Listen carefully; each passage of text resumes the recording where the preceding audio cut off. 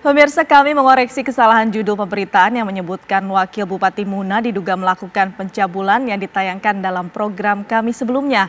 Judul yang benar adalah Wakil Bupati Buton Utara diduga melakukan pencabulan.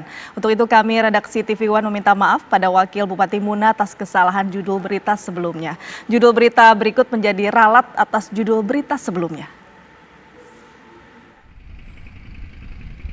Kepolisian Polres Muna, Sulawesi Tenggara hingga kini masih terus melakukan proses penyidikan terhadap Wakil Bupati Buton Utara, Rahmadio, atas kasus pencabulan anak di bawah umur.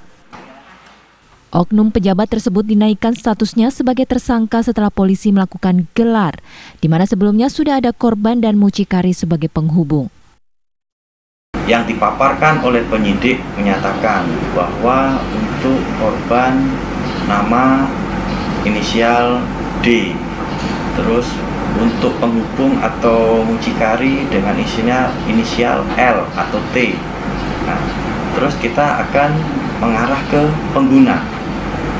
Sedangkan untuk saksi korban ataupun saksi-saksi lain menyatakan bahwa pengguna itu sudah disebutkan.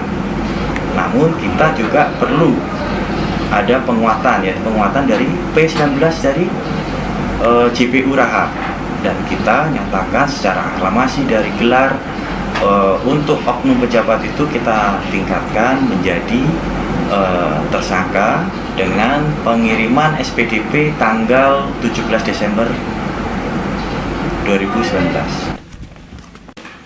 Diketahui peristiwa pencabulan itu terjadi di rumah mucikari yang berlokasi di Kecamatan Bonegunu, Kabupaten Buton Utara pada beberapa bulan lalu.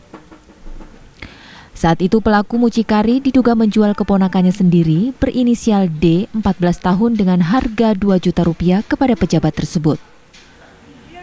Dari Munas, Sulawesi Tenggara, Erdika Mukdir, Jamil Ajali, TV One mengabarkan.